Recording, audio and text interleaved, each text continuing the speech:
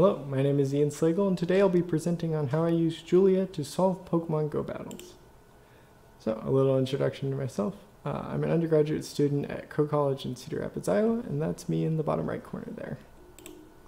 So some motivation behind this, uh, Pokemon Go is an immensely popular uh, mobile game. It's got over a billion downloads. Uh, and trainer battles were introduced in December 2018, uh, which has since developed into quite the competitive scene both in-app with the Go Battle League and outside of the app with the Silph Arena, which I help out with.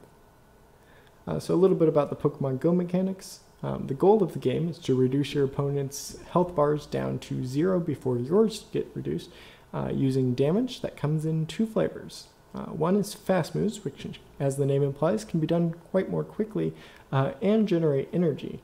Um, and charge moves are the other kind, which require energy from those fast moves but can deal a lot more damage. However, you and your opponent have two opportunities per game to shield all of the almost all of the damage that comes from a charge move. And because this is a Pokemon game, there are certain Pokemon that do better against other Pokemon.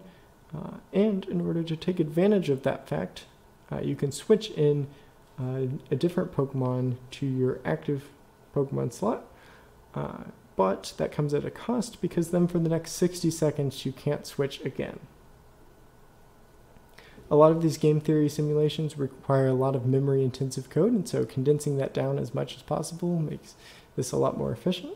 And so the part of the game that changes, uh, this dynamic part, uh, can be broken down into this um, natural hierarchy of the state, which has two teams, which has three Pokemon each, and then each of these have some information that must be uh, stored in that state. Um, now, you might notice that these don't correspond to nice powers of 2, um, but thanks to some help of uh, people in the Julia discourse, we were able to condense that down to 18 bytes for this struct, uh, which as it turns out is less than if you were to go and type this into your REPL. Uh, and even better, uh, this is heap allocated because it's an array, um, whereas this is going to use static arrays, so it's a lot, uh, it's stack allocated. Uh, the Monte Carlo simulations show just how expressive Julia code can be. Um, so breaking it down into different functions is going to help with uh, efficiency of code as well. And so here we can see exactly what happens at each step along a battle. We're going to resolve any leftover chance, then we're going to get possible decisions of this battle.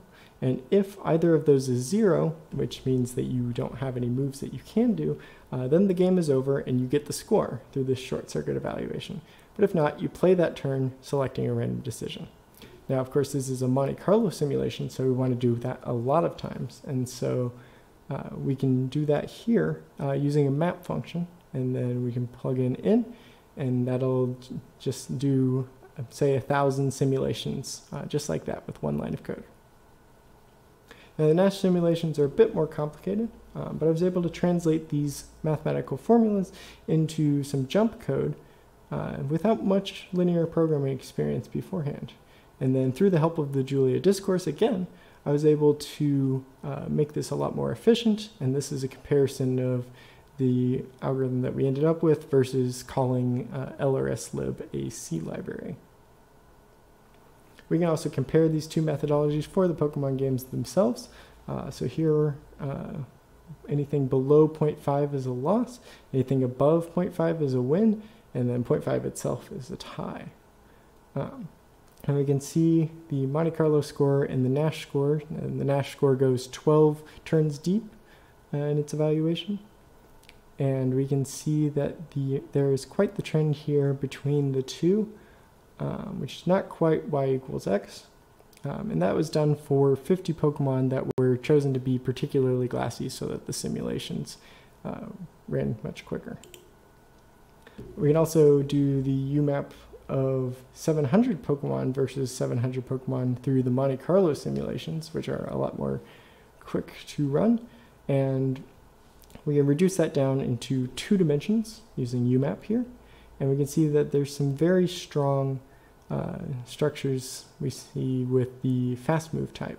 Um, but if we break that down even further with the Pokemon type, we can see that there's more structure contained within there as well.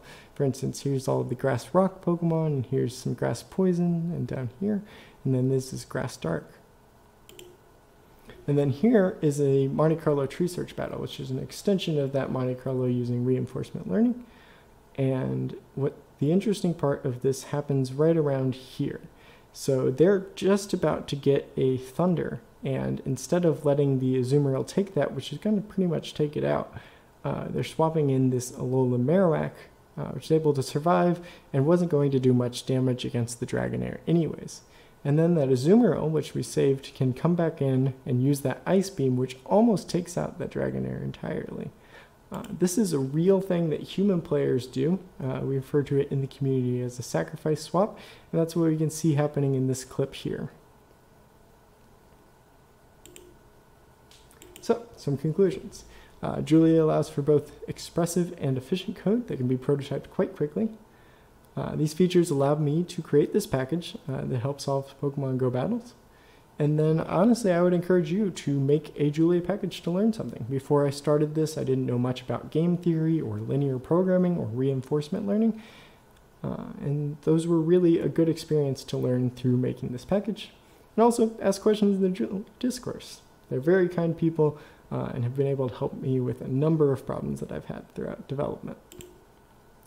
So some credits. Um, here's some of the links to the Julia discourse discussing this um, of course, the Julia language itself, and a lot of the mathematical underpinnings uh, behind these algorithms, um, as well as PvPoke simulations that are uh, simulations of individual battles that came before this.